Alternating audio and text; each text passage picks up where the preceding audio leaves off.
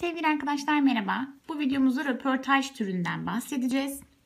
Söyleşmeye dayalı türlerden biri sevgili arkadaşlar sizin de bildiğiniz gibi herhangi bir yerin ya da kurumun gezilerek orada görülenlerin kişisel yorumlar ve fotoğraflarla desteklenerek kaleme alındığı yapıtlara biz röportaj adı veriyoruz sevgili arkadaşlar. 20. yüzyılda gazete ve gazetecilik çerçeve çerçevesinde gelişiyor. Öğretici yazı türlerinden biri tabii ki.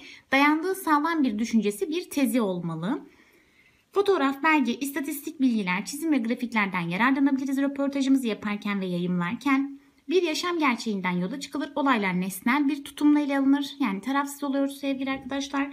Açıklayıcı, öyküleyici, betimleyici anlatım biçimlerinden yararlanılabilir. Çoğunlukla açıklayıcı ve tartışmacı anlatımda kullanılır sevgili arkadaşlar. Konu bakımından üçe ayrılır.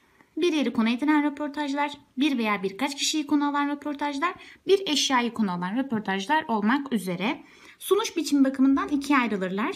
Birincisi Amerikan röportajıdır. Burada yazarımız röportajına e, röportaj konusunun en kuvvetli yönüyle girer. Yani şok edici bir bilgiyle girer sevgili arkadaşlar. Son söyleyeceğini aslında ilk başta söyler.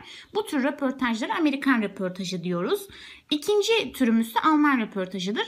Burada yazar konuyu işlerken yazıya kendini katar. Ben merkezli bir şekilde yazar. Bu tür röportajlara da sevgili arkadaşlar Alman röportajı diyoruz. Edebiyatımızda tanınmış röportaj yazarları kimlerdir peki?